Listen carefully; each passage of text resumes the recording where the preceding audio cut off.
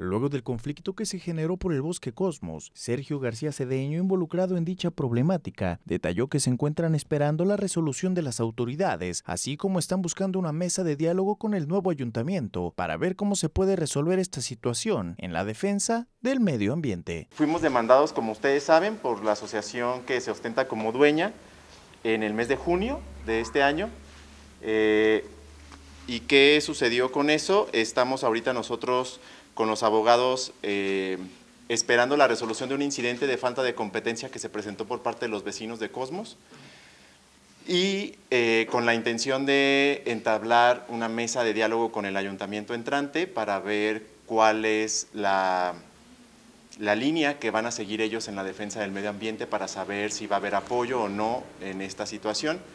Eh, la posesión la sigue teniendo los vecinos de Cosmos y por eso Ahorita hacemos mancuerna con Feria del Agua y Tianguis La Gotita, que nos eh, brindan sus conocimientos sobre el tema de medio ambiente para hacer visible el parque, el bosque urbano Cosmos. ¿Por qué? Porque hay ocasiones en que por donde está situado no se identifica bien por la población y no se sabe la importancia que tiene para el medio ambiente ese espacio. Eh, la intención es esa, visibilizar, porque el juicio nosotros esperamos que nos lleve años y eso implica que no sabemos si nos toque ver la resolución a nosotros o las generaciones que vienen. ¿Por qué? Porque es un tema de propiedad. El tema grave es identificar quién es el dueño. Nosotros no sabemos si son ferrocarriles nacionales o con agua. Entonces, primero resolveremos eso en el juicio, que puede tardar 5, 10, 15, 20 años. Y después de saber quién es, iniciaremos las gestiones para ver cómo se puede rescatar la propiedad. Asimismo, recalcó que los vecinos no permitirán bajo ninguna circunstancia que se elimine dicho espacio, pues el objetivo de los supuestos dueños es talar todos los árboles en la zona para poder comenzar a construir. ¿Por qué?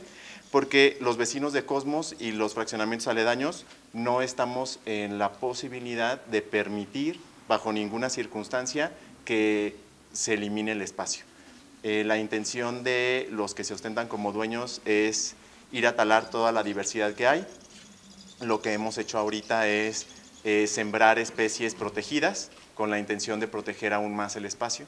Entonces, el tema jurídico es, estamos en juicio, estamos esperando que se resuelva el tema de la incompetencia del Poder Judicial del Estado para ver si nos vamos al Poder Judicial Federal.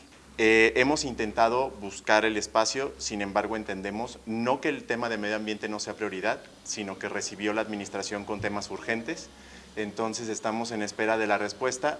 No podemos manifestar que hay una negativa porque no ha habido. Eh, estamos en espera de que nos den fecha para sentarnos. Eh, no sabemos cuándo sea.